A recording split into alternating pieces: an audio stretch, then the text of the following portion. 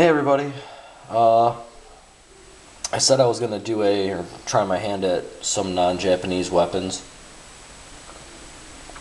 So I threw together a medieval mace. Uh, I'm not I'm not real happy with it, but I didn't spend a lot of time on it. I kind of really just threw it together just to see if I could. Uh, the welds look like hell. Uh, quick tip for anyone, don't buy a cheap welder. Get a nice Miller or Lincoln. The welds look like crap. I might clean that up eventually if I ever feel like it, but this was just kind of a tryout, I guess. Uh, it's five inches up here. Uh, it's it? the handle is 15 inches the round ball on the end. This was a cool idea that I had. I, I'm a big fan of uh, the uh, Romans, and their sword usually has a round ball for the pommel, or roundish. Some of them were oval. But I really liked that. I thought that looked cool, and it's, it's one hell of a hand stop. I mean, you can't, that won't slip off your hand for nothing. So I added that on there just to see how that looked pretty happy with that. Uh, the one thing though that I wasn't happy with is the new paint that I bought. I ran out of black paint. So I went to the store and picked up some of the same can of flat black paint that I paint my uh, cordage with. And when I let it dry, you can kind of see it already.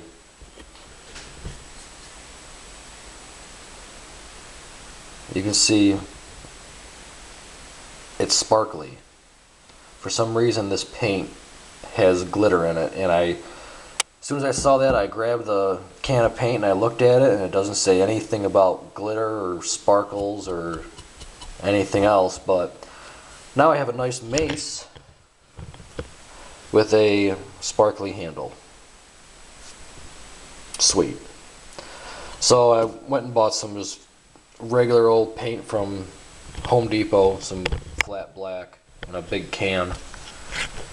And I'm gonna repaint it, but no big deal. I just thought that was that just kind of bothered me a little bit that the paint I've always used for some reason now has has glitter in it. But oh well. Uh, besides that, I did uh, finish up two other training weapons.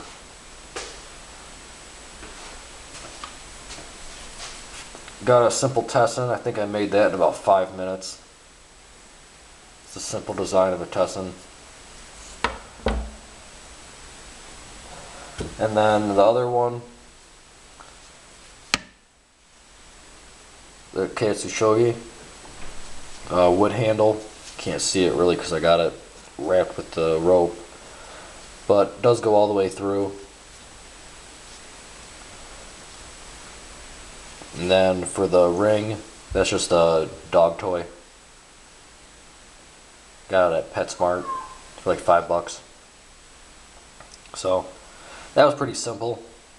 So I think out of all these weapons and everything that I made from for the training stuff, maybe 40 bucks for I think like six weapons that I made, six training weapons. So that that's kind of cool. I'm definitely done with the whole training weapon deal. It's kind of boring to me to make something and I can't cause damage with it. But that's it for the training weapons.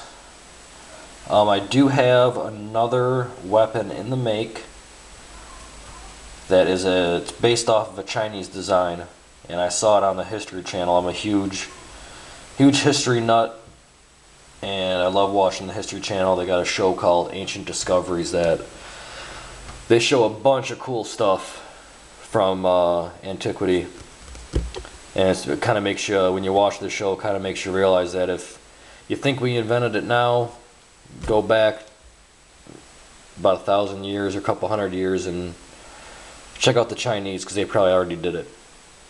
But it's a cool weapon. I'm not going to say what it is yet, but it definitely is the most dangerous thing I've probably ever made. And if it works, it's going to be it's to be awesome. So hopefully it does. I should have that done early next week. So maybe Wednesday, maybe even Tuesday if I rush it. I'll have that finished up and I'll make a video on it and show everyone. Not 100% sure if it's legal or not, but whatever.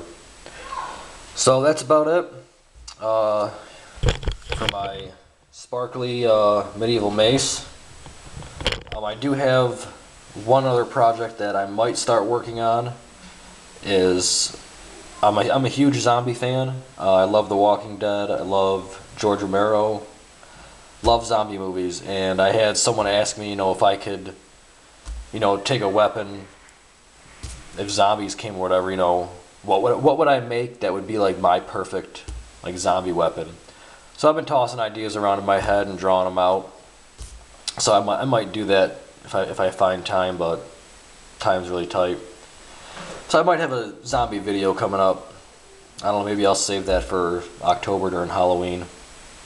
But we'll see. Besides that, uh, any other, any questions? As always, send me a message. I'll try and get back to you as soon as I can.